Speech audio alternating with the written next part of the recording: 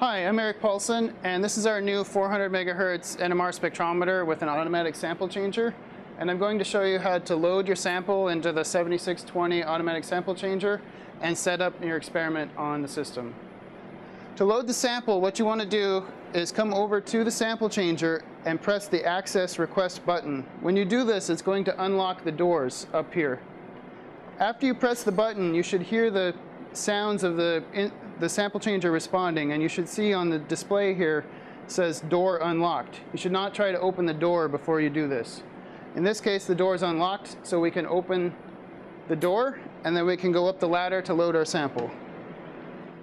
Now that you're up on the ladder, this is what you should see on the sample changer. You could put your sample anywhere in the open positions for the sample changer, but do not put them where you already have a sample, and don't put them under the arm of the sample changer, which you can see indicated where there's a red light here, because this indicates the position where there's already a sample that's inside the magnet. So for example, we can put it in this spot, which is indicated as G4. Now that your sample's loaded, you can come down from the ladder, and you need to make sure that you close the door. You know that the door is closed because the system will indicate that it's locking the door. You should hear the pin lock on the door. And once this completed, the robot will check that everything is in the right place.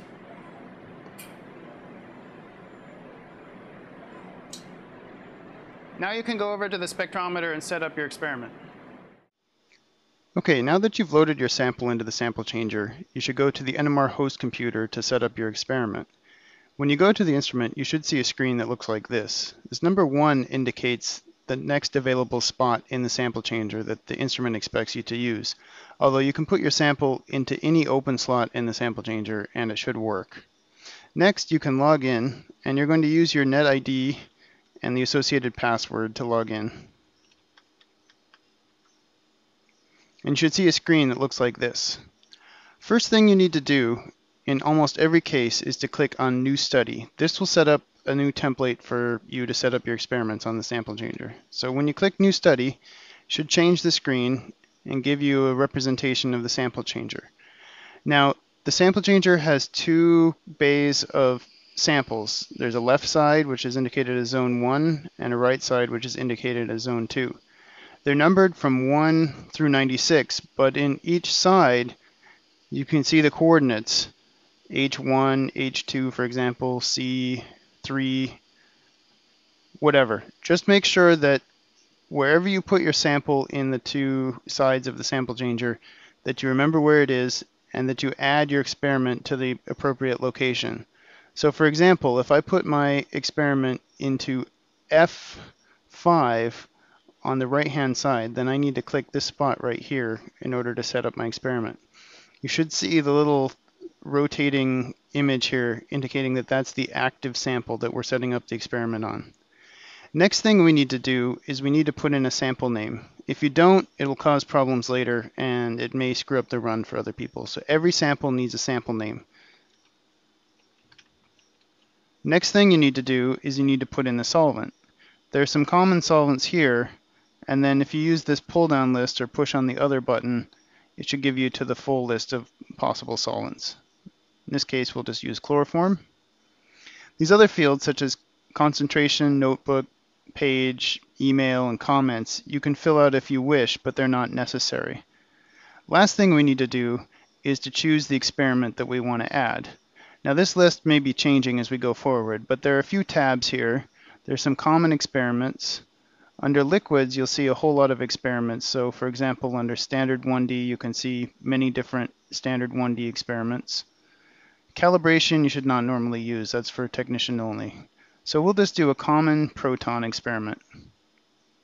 Okay, so now that we're we've added these three things, we've identified the location, the sample name, the solvent, and the experiment, we could just click submit and run it as we want by default. However, if we wanted to customize the experiment, what we should do before we click submit is we should double click on the experiment and this will change the screen to allow us to edit the experiment parameters.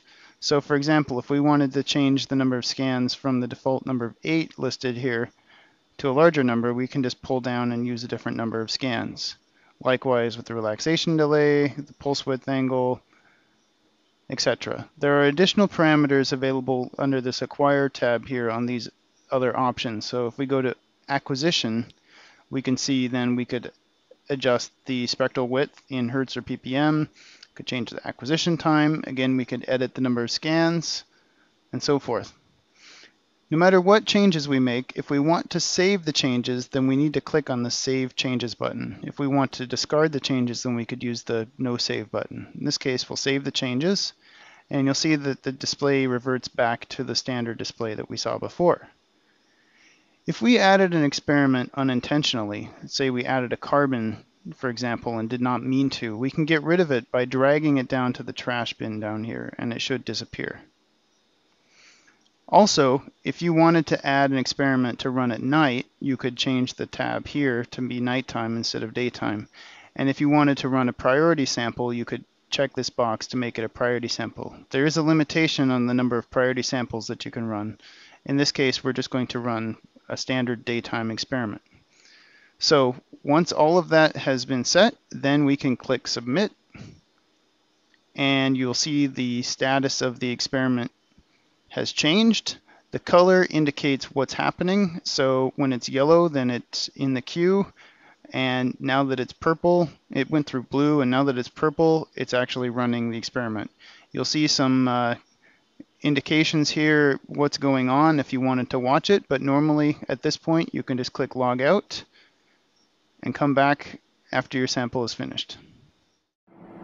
Now that you've submitted your experiment, the sample changer will automatically put your sample into the instrument and run your experiment.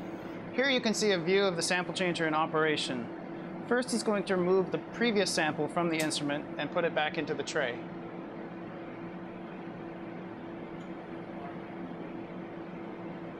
Next, it's going to pick up your sample and load it into the instrument.